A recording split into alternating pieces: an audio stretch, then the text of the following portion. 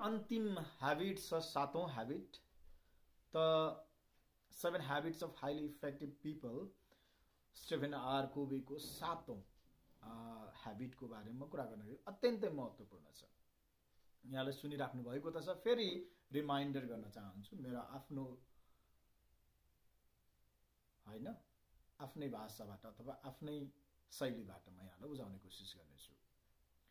हामीलाई लाग्छ हामी अति व्यस्त छौँ यति धेरै काम गरेको छौँ तर कहिलेकाहीँ हामीले चाहेको जस्तो रिजल्ट हामी पाउन सकिरहेको हुँदैन। किन होला?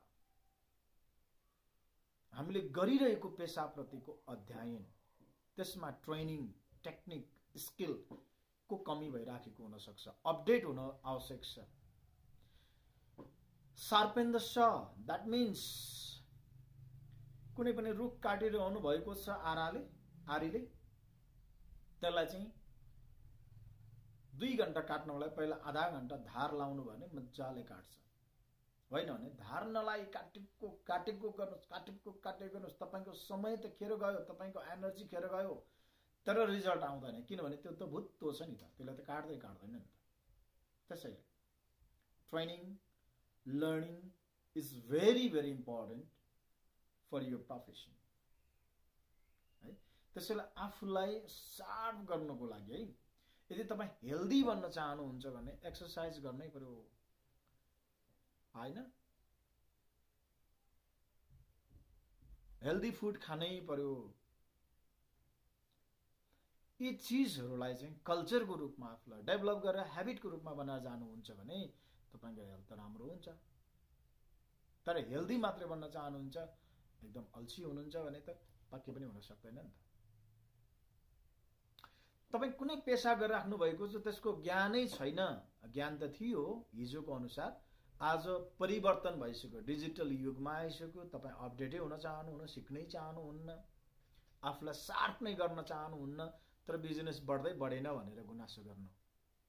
त्यो उचित होइन भन्छ। सार्प गर्नुहोस् सार्पेन गर्नुहोस्। मतलब आफूलाई अपडेट गर्नुहोस्।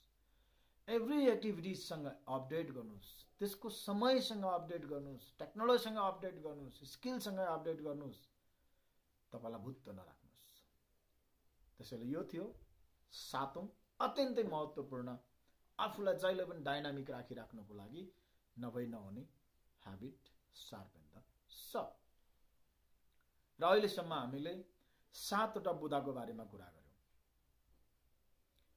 पहिलो तिनवटा ह्याबिट त्यो इन्डिपेन्डेन्ट बन्नको लागि कम्पिटेटिभ बन्नको लागि हो जस्तै बी प्रोएक्टिभ एकदमै परिस्थितिलाई प्रतिकूल परिस्थितिलाई पनि अनुकूल ढङ्गले एक्सेप्ट गरेर अथवा अनुकूल ढङ्गले प्रयोग गर्न सक्नु परिस्थितिलाई कम्प्लेन गरिराख्ने होइन।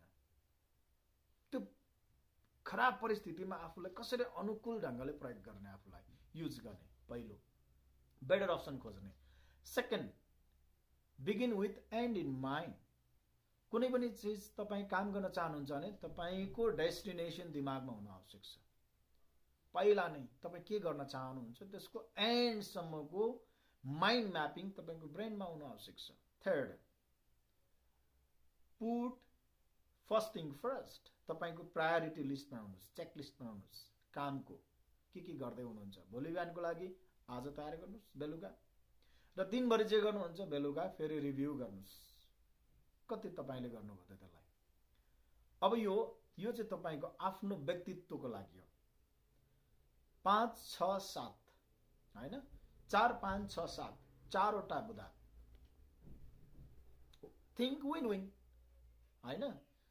आफू र त्यो व्यक्तिलाई पनि जित्ने गरी कोअपरेटिभ ढङ्गले काम गर्नुहोस् र सोच्नुहोस् त्यसरी।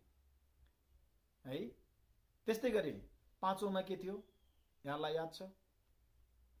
पाँचमा थियो seek first to understand then to be understood र अरूलाई सुन्नुहोस् बुझ्नको लागि।